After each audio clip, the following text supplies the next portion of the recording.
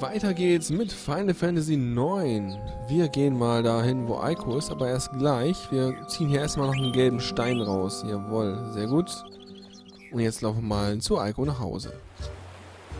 Hm, Rauschen. Was ist hier unten? Erstmal hier, immer die, erstmal die kleinen Nebenwege gehen. Oh, noch ein Stein. Ein grüner Stein. Hallöchen. Und eine Kiste. Ether. Sehr gut, haben wir gerade vorhin verbraucht. Da kommen wir nicht lang, wir können wieder zurück und müssen uns wieder prügeln. Mach nix, können wir. Ich glaube, dann können wir gleich nochmal direkt zurückgehen und die beiden Steine da einsetzen, wo wir die auch den roten und den blauen Stein reingeworfen haben. Vielleicht hilft das ja was, wenn man die zusammen reinwirft. Ja, hau ihn kaputt. Die können alle nicht zuschlagen, bis auf sie dann.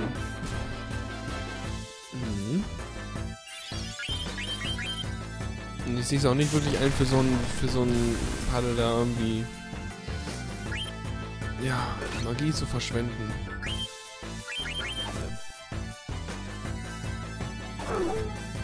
Geht doch. Na, diese Autoregeneration reicht nicht ganz, ne? Antibody und Level Up. Sehr gut. Das heißt, wir können uns wieder angucken, ob wir nicht vielleicht was Neues zu Aiko reinstopfen können. So. Boah, wir haben schon 20 Punkte immerhin mit ihr gemacht. Warte mal. Ist besser? Oh ja, hier. Mal gucken. Oh, warte, warte, warte, warte. Da musste ich niesen. Da konnte ich zum Glück noch muten vorher. Das ist ganz prima. So, also wir können hier lernen. Jelly, Auto Potion, Magie plus 10%. Das machen wir doch. Ja, super Sache. E-Mail hatten wir ja vorhin erstmal durch. Genau. Ähm, können noch Sachen verteilen. Ähm, nimm, nimm, nimm, nimm. Man-Killer, Bildkiller, Bug-Killer. Wird schon passen. Seht ein, add ein, sieben. Oh, warte. Sieben? Yes. Noch mehr, mehr Magie reintun. Das ist prima. Gut, ab geht's. Und dann gehen wir nochmal Steine einsetzen. So. Ähm, kommen wir daher? Ja, doch eigentlich, ne? Oder kommen wir jetzt zum Lebensbaum? Das wäre jetzt nicht so... Oh, Weltkarte, Weltkarte. Ah, siehst du mal. Oh ja, Weltkarte. Ich will aber eigentlich zurück. Eigentlich will ich zurück. Ich will ja zurück zu diesem Ding, wo man die Steine einsetzen kann. Wissen wir immerhin schon mal, hier geht's zur Weltkarte. Das heißt, wir müssen hier hoch wahrscheinlich, ne? Oder was? Hä? Morg. Ja, es ist schwierig. Man erkennt nicht ganz, wo man lang kann. Dann gibt es halt ein paar Zufallskämpfe. Ja, für so Let's Play ist immer ein bisschen schwierig mit den Kämpfen, aber habe ich ja schon mal öfter geäußert, dass ich da so meine Probleme mit den Dingern habe. Das macht nichts. Vivi, ach komm, hau rein, Vivi. Und du hau auch rein.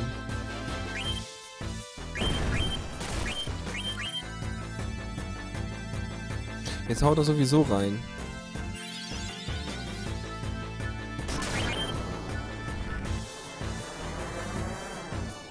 Oh ja wenn Vivi jetzt zuhaut. Meine, mit diesem Boot-Modifikator, äh, ja, gibt es ja nochmal mehr Abzug. Seht ihr? Ich, das sind die Gegner auch immer, immer selber schuld. Das ist irgendwie albern, dass sie da diesen Modifikator drauf äh, wirken. Okay, Vivi und äh, Dingens. Haben wir was Neues? Hat er denn? Ich meine, wir können doch sowieso nichts mehr. Ah. Ja gut, Hans nichts mehr, ne? Hast du nicht mehr. Keine Möglichkeit, was anderes anzuziehen, was dir irgendwie noch mehr bringen würde. Und äh, sie hier, glaube ich, ne?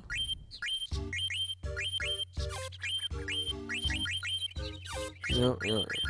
Ich glaube, wir haben da auch alles durch. So, gut, weiter geht's. Na, siehst du mal, da kommt man hoch. Ja. Gewusst wie.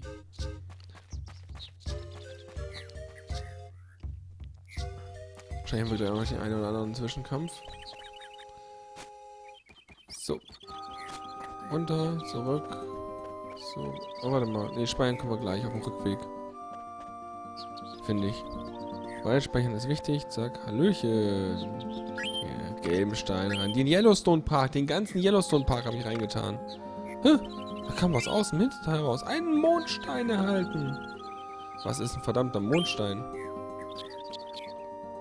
Ähm, ist hier Moonstone da. Hm. Ah. Oh ja, Equipable. Ich glaube, damit kann man was Cooles lernen. Das schauen wir nochmal nach. Er hat ja jetzt gerade einen Saphir. Saphir, Schwarzgold, Saphir. Egal, angenommen, er hat keinen Saphir. Okay. Kann sie was lernen? Shell kann sie schon. Kann er auch schon. Shell kann sie lernen. Ah, schade. Ich dachte, das wäre irgendwie was Cooleres gewesen. Egal, was soll's.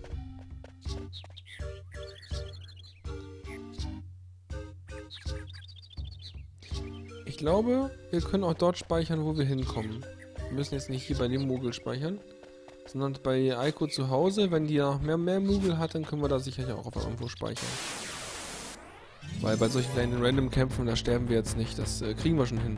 Aber müsst ihr auch so sehen, wenn ich jetzt diese Random-Kämpfe ständig habe, dann leveln wir halt quasi. Das heißt, ich brauche keine extra Level-Sessions zwischendurch irgendwann machen.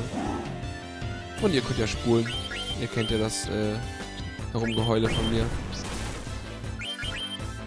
Ey, sag mal, ich wollte doch gerade was auswählen. Ja, dann hau ich euch halt. Kommt mir nicht so. Ich hau euch einfach nur. Ich heile euch einfach zwischendurch. Cool. Counter. Bringt ja nicht so viel. Oh, warte mal. Wenn jetzt... Ja, geile Combo. Wenn jetzt sie dann Counter hat, dann muss ich ihn äh, unbedingt dieses äh, äh Mädels beschützen jetzt geben, weil dann gibt es zwei Charaktere, bei denen er sich vor die Mädels stellt und dann wiederum Counter wirkt. Und weil er sowieso so viele Lebenspunkte hat, äh, rockt das ziemlich. Das probiere ich gleich mal aus. Das ist geil. Ja, diese Kombos finde ich immer cool, wenn man bestimmte Abilities da äh, aktiv macht. Ja, ja, das kann gut sein. Ja, mach halt Eis. Mir auch egal. Obwohl. Äh, Schnitzel.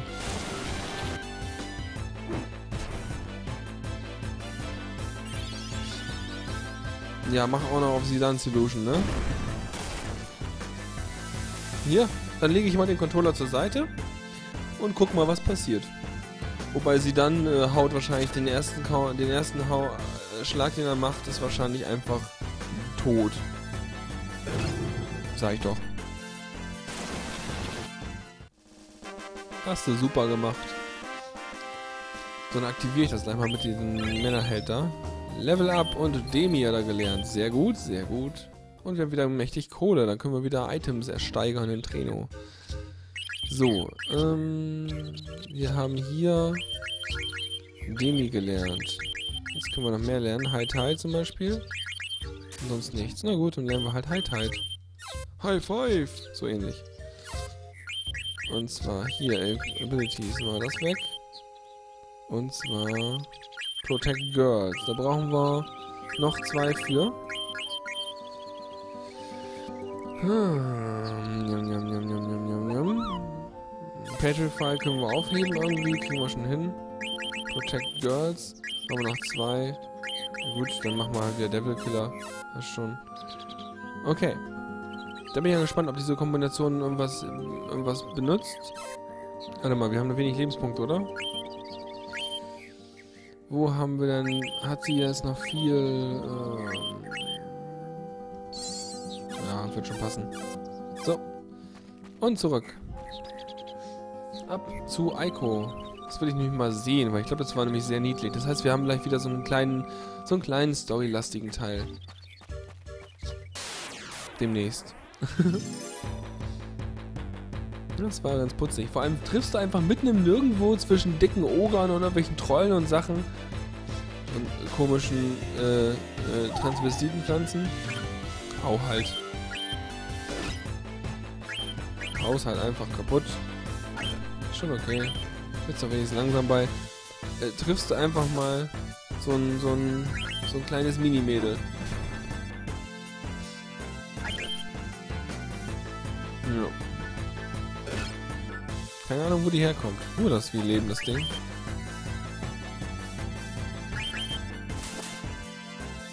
Und trifft nichts. So. Lange hält das nicht mehr durch. Und tot. Der haut schon ordentlich rein. Wenn wir jetzt noch Steiner dabei hätten, ne? Steiner kann auch ordentlich reinhauen.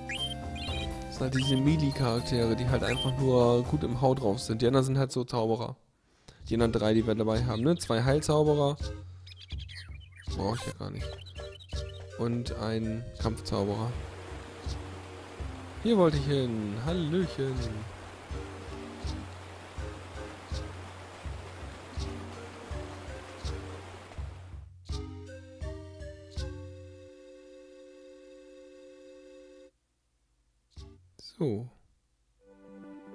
Auch Weltkarte. aber andere Weltkarte. Äh, wo sind wir denn jetzt? Ich dachte... Aber hier kommen wir wenigstens zum Zuhause, hat sie gesagt, ja. Dann gehen wir hier vorne nämlich hin. Da haben wir vielleicht das Zuhause. Ja. Fragezeichen. Fragezeichen klingt aber gut. Kennen wir sicher nicht. Richtig. Sieh da an! Das hier ist mein Zuhause, Madain Sari. Du lebst hier? es ist ein Haufen Geröll. Lilly? Was ist hier passiert? Dieser Ort, das sind alles Ruinen. Madain Sari. Die Stadt der verlorenen, äh, vom verloren gegangenen Beschwörer. Matcha, Moko, Chimomo. Kupo, Kupo. Momatose, Morrison. Wo ist Mock? Hm? Nee. Wurde Mock gegessen? Die Musik ist auch so geil. So schön. Mock! Du Lüdel. Schön, da hinten ist er ja. Das einzige mit dem gelben Bummel, hä? So ein kleiner. Oh, ist ein Mini. Das ist ein kleines, ein Baby, Babymugel, hä? Kup Kupo. Kupo? Nein, ich bin nicht böse auf dich. Aber, ne? Lass mich nie mehr im Stich, okay? Ja, Kupo, natürlich, bla. Sieh dann, komm her, folg mir. Da fliegen die alle lang. Die Musik, ey. Los, ab zur Arbeit, Leute.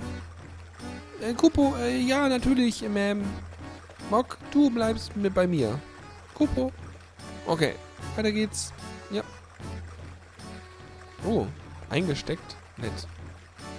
Ich sag mal, hat sich der Mogel gerade in dein Kleid, in deine Klamotten äh, ver verkrümelt? Jupp, klar. Mock bleibt immer bei mir. Lüsternes Viech. Kupo. Aber flauschig. Ist total flauschig, so ein Kupo-Viech, oder? Das muss man doch eigentlich haben, so als, als Kuschel, Kuschelfiech. Ach. Ich habe auch keine, keine guten Plüschviecher von Muggels gefunden. Also, also, wenn, falls jemand von euch irgendwie ein Muggel-Plüschviech so in, keine Ahnung, so etwa Handflächengröße oder so, irgendwo mal aufgabelt. Ich fände es total cool. Ich brauche sowas. Sieh dann, komm her, komm hier. Sitz mal, setz dich mal hier hin. Äh, hey, also, erzähl mir mal von dir. Erzähl mir mal was. Ja, na klar. Also, ich will auch mehr über dich wissen, Eiko. Wirklich? Naja, zum Beispiel das mit den Eidolons, ne?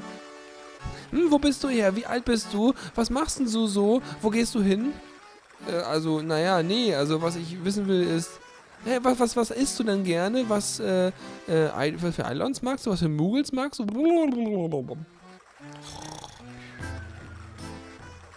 Ich habe noch nie so jemanden getroffen wie dich. Tja, keine Ahnung. Lilly? Was ist, was ist, was denn los? Du siehst irgendwie müde aus. Was? Nee. Oder, oder dazed. Irgendwie komisch. Nee, nee, ist nix. Nee, nee. Hm, hast du Fieber oder so? Ah. Ey, äh, nee, dir geht's gut. Bist du eifersüchtig? Warum würde ich eifersüchtig sein, hä? Ey, sei, seid ihr, Lilly und du, echt nur Freunde? Bist du echt in der Friendzone? Sieht mehr so aus, als ob ihr beiden mehr seid. Naja, also... Ja, wir sind mehr als Freunde. So? Ja, und, und was nun mit euch? Was ist los? Wir sind ein Team. Ein Team? Ja, genau. Vivi ist auch Teil des Teams. Und, äh, wo ist er hin? Das ist so wie, so wie ich und die Muggels, ne? Ja, genau. Sowas in der Art. Mhm. Ist schon okay. Alles sauber. Kupo. Ja, danke, Mocha. Ich werde da gleich auch sein. Wieder eingesammelt. So, ich werde mal anfangen zu kochen. Ihr müsst unbedingt nachher vorbeikommen und mitessen, ne? Okay? Jetzt ist sie weg. Puh, da ist immer noch Sachen, die ich sie fragen möchte. möchte. Lass nachher mal hingehen. Okay. Ich äh, ruf dich, wenn's Essen fertig ist, ne? Geht nicht so weit weg. Ein Active Time Event. Nehmen wir doch an. Vivis Gefühle. Macht er sich Sorgen wegen Queena? Nee, keine Ahnung. Ach, Vivi. Ah, Mr. 288 hat mir erzählt, dass ich verstehe, was es meint, was es bedeutet, zu leben und zu sterben. Aber, ah, naja, aber ich dachte nur, dass das äh, Stoppen was anderes ist als Sterben. Hm. Ich glaube nicht, dass ich kapiere, was es bedeutet, zu leben und zu sterben. Wo, wo komme ich her? Gehe ich dahin zurück, wo ich herkomme, wenn ich sterbe? Wenn, wenn das das bedeutet, wenn man lebt, dann frage ich mich echt, wo ich herkam. Hm. Wo, wo will ich hingehen, wenn ich sterbe? Ja, ich weiß es nicht. So viele Fragen. Oh Mann. Warum schüttelt's mich bei den Gedanken daran? Was, was, was fühle ich hier? Armer Vivi. So verwirrter kleiner Stoffkopf. Oh Mann, oh Mann, oh Mann. Los, Lilly, was sieht's aus? Oh, ich bin ein bisschen müde. Immer noch müde. Doppel geklickt. Wir sind jetzt wieder nur sie dann, ne? Jupp. Gucken wir uns doch erstmal um. Oh, warte mal. Ausrufezeichen. Libra. Was ist denn das denn? Das ist ein Libra. Ist das ein Gegenstand? Libra. Das könnte eine Waffe sein, oder? Wo ist Libra? Ah, es ist alles unübersichtlich. Arrange. Ah, pass mal auf. Äh, Auto. Siehst du mal. Sehr gut, jetzt hat man es übersichtlicher. Libra. Erz. Nee, warte mal. Ah, hier. Aha. Key-Item. Ah, das ist ein Stellatio. Also eins von den Dingern, die wir dann auch in Treno abgeben können, dafür Kohle kriegen. Sehr gut. Cool. Hätte ich gar nicht auf dem Schirm. Da wollen wir gar nicht lang. Links wird gekocht. Dann gehen wir nochmal nach links zum Kochen hin. Ach, zu Vivi. Äh, Vivi? Hey, was ist denn los? Was ist denn falsch mit dir? Hä? Was, was? Och, ist nix. Ich, ich denk nur gerade nach und so. Naja, ach, denk mal nicht so viel nach. Ne, ruh dich auch mal aus. Ja, okay. Danke, sie dann. Noch ein Active Time Event. Lillys Gefühle. Ist jetzt heute so ein großes Gefühle-Duell hier, hä? Hm. Ein Dorf voller Beschwörer. Ich habe in einem Buch über die gelesen. Ein Stamm, der die Kraft besitzt, um Eidolons herbeizurufen. Eidolons. Hm. Dadurch, dass ich weiß, dass ich Eidolons in mir hatte, bringt es mir irgendwie keinen Spaß. Weil ich sie halt verloren habe, ne? Mutter kehrt mich ein. Benutzt die Eidolons, die sie von mir geklaut hat, als Waffen im Krieg. Ich dachte... Ich dachte, ich würde meine Eidolons töten. Äh, wenn, wenn, wenn Kuja sie für den Krieg benutzen würde. Also, dass ich sozusagen sie lieber töten würde, als dass er sie benutzen kann. Aber jetzt, wo sie weg sind, fühle ich mich, als hätte ich einen Teil meiner selbst verloren. Oh je. Warum denke ich über all das jetzt nach? Das muss dieser Ort sein. Irgendwie fühlt er sich vertraut an. Hm, ja, ja, ja, ja. Sogenanntes Foreshadowing im Erzählen, dass man schon mal so Andeutungen macht. Ja, ich bleib noch ein bisschen hier und denk noch ein bisschen mehr nach. Nur mach mal. Ich gehe dahin, wo es Essen, Essen gibt. Kupo, bitte warten. Lady Aiko sagt, dass es noch eine Weile dauern wird, bis sie fertig ist mit Kochen. Also, ich werde dich rufen, sobald es fertig ist. Kupo. Aikos Feelings.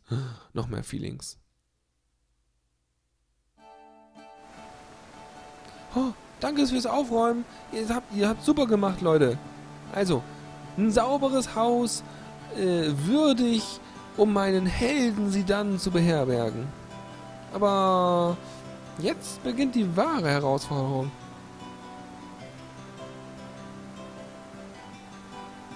Ich glaube nicht, dass Lilly und sie dann sich jetzt schon irgendwie, ja, weiß nicht, Dates haben oder so.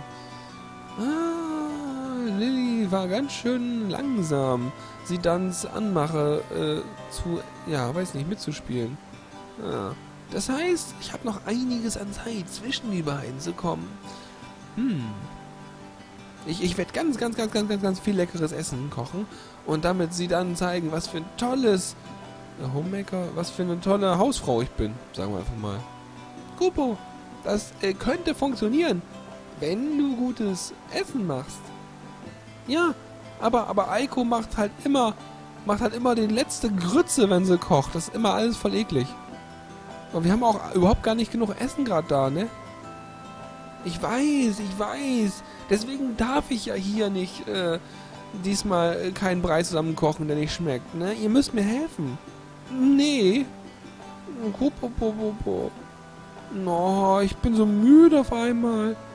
Ey, ihr helft hier womit? Jawohl. Also, ich werde hier meine Spezialität kochen. Das Stein, irgendwas mit Steinen und äh, Kartoffeln und äh, einen Eintopf. So soll es aussehen. Ja, ja, Kupo, äh, das war, ja, das ist lecker.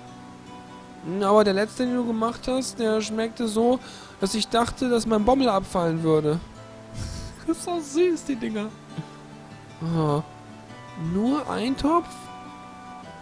Ja, ich denke, ja, stimmt. Ich brauche wohl noch ein anderes Gericht. Was glaubt ihr?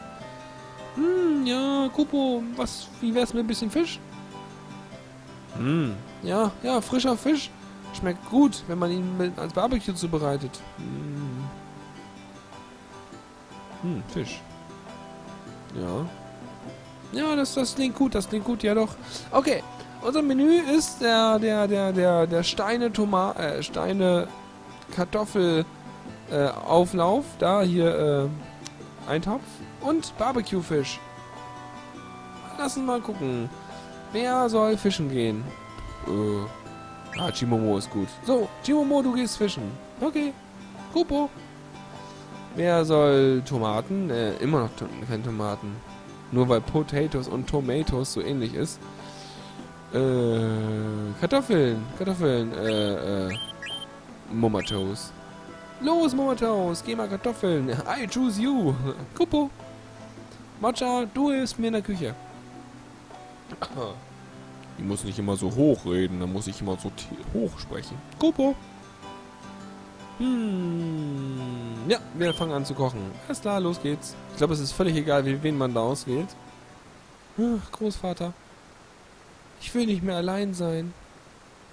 Hilf mir doch einfach, das hier richtig zu machen. Und ich mache an dieser Stelle einen Cut, weil schon wieder viel zu lang.